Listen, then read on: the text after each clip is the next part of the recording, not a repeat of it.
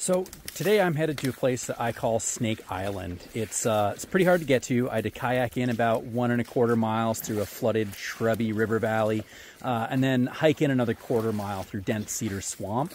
Uh, for me, though, it really is worth the trip. The entire swamp, for about a mile in every direction from the island, it's it's great habitat for garter snakes, frogs, salamanders, but because that entire area floods in the winter and early spring, most of those animals are going to need to find a spot where they can get below ground, uh, where they won't freeze, but where they'll also stay above water, which puts a lot of those snakes and amphibians on this remote island. Which means that in the spring, when uh, all those animals wake up, you can find them on the island in, in pretty high numbers.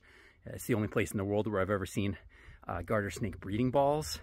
And uh, one of my first trips out here, I turned over a single rock and found 17 four-toed salamanders under it. Never seen anything like that. That's why I come back here.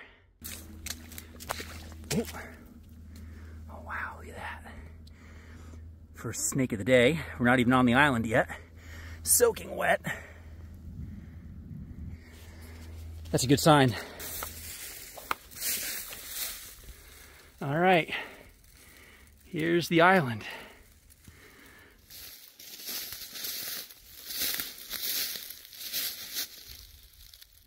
Snake.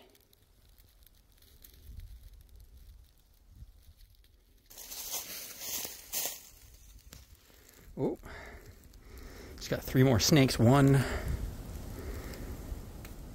one, two. I lost a third one. Ah, three.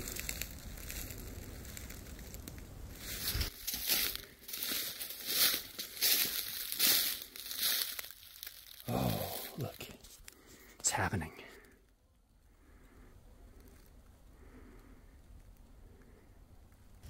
Okay, so here we have a female garter snake crawling through the leaf litter with two smaller male snakes lined up along her back attempting to mate with her.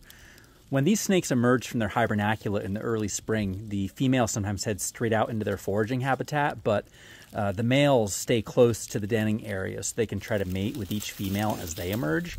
As a result, it's pretty common to see multiple males courting a single female at the same time, sometimes forming a literal pile of breeding snakes. Now, in the coming days and weeks, all of these snakes will wake up, come to the surface, and once the females are gone, the males will head out into the swamp for the summer. The total number of snakes that I saw today was pretty low for Snake Island, but since these are the first snakes that I've seen all year, I'm pretty happy.